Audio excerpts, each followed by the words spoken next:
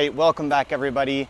And this is going to be um, one of the final segments in the Swish experiment. And I've got my whiskey shirt on here in celebration of the big day.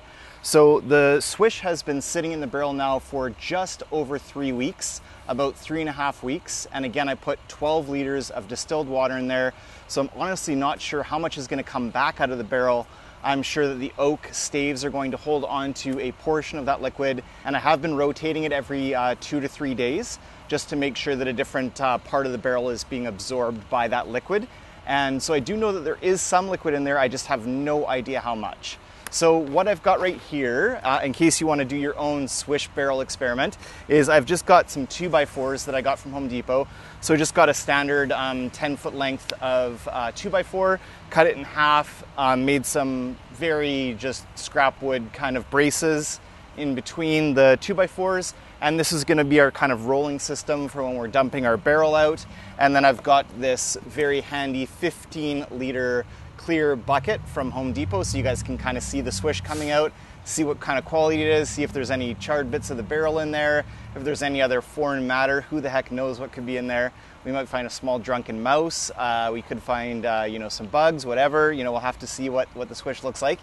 And the other thing that you're going to want for filtering out the charred bits is just basically a standard sieve, just like this, just a little pre-filtering so that you know if you were getting barrel proof bourbon you know it would go through something similar like this to remove any chunks of, of the charcoal or of the you know uh, barrel char uh, any large kind of foreign particles they wouldn't want in the whiskey. And then for the large part you know lots of the um, bourbons that we love that are at cask strength or um, that are at barrel proof are actually unfiltered after that point um, we are actually going to filter this just so that we remove any uh, barrel sediment or anything that's undesired so after this initial kind of hard filter stage here where we're filtering out any large particles, we're gonna actually put it through some coffee filters just to kind of get it as clean as possible before we go ahead and try out the swish. So the one other thing that you need is the rubber mallet, and that is just to kind of tap the bung out to pour out your liquid into your clear uh, vessel or container,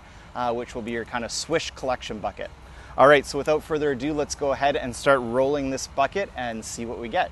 All right, so I've got the barrel on the barrel rolling mechanism here, which is again just very simply these two by fours.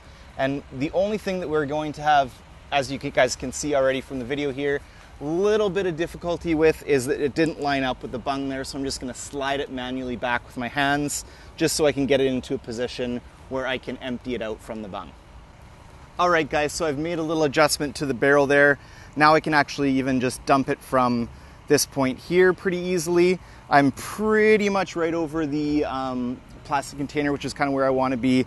I want to be able to dump it out and have it strain through the strainer as it goes into this container here. So we're actually in a pretty good position right here. So I might just go ahead and give this a try. All right. So I'm gonna put the barrel back up here to take out the bung here. So just gonna give this a tap with the rubber mallet and hopefully that just comes out very easily here.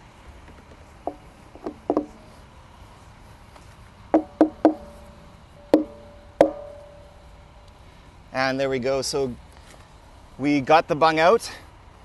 I can smell that there's definitely some liquid that's interacted with the wood even on just the bung there. So let's go ahead and dump this barrel and see what kind of swish we get.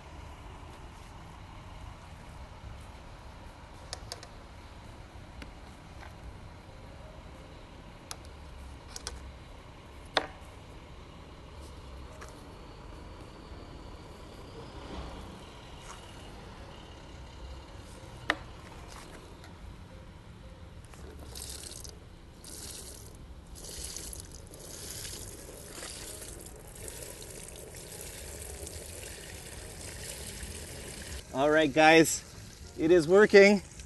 It is working. Um, there is a lot of liquid in here, way more than I expected there would be still at this point. Like we have got a lot of volume going into our clear container here. All right, pretty cool, guys. So there we go. That's what's kind of been captured by the sieve. So just some really small particles of barrel char. And I will hold up our swish experiment here. So this is what we've got. All right, so that's obviously very unfiltered right now. So we will head inside to the kitchen for the next step of the swish experiment, which is putting this through a couple of coffee filters. We'll see you guys in the next segment. Cheers.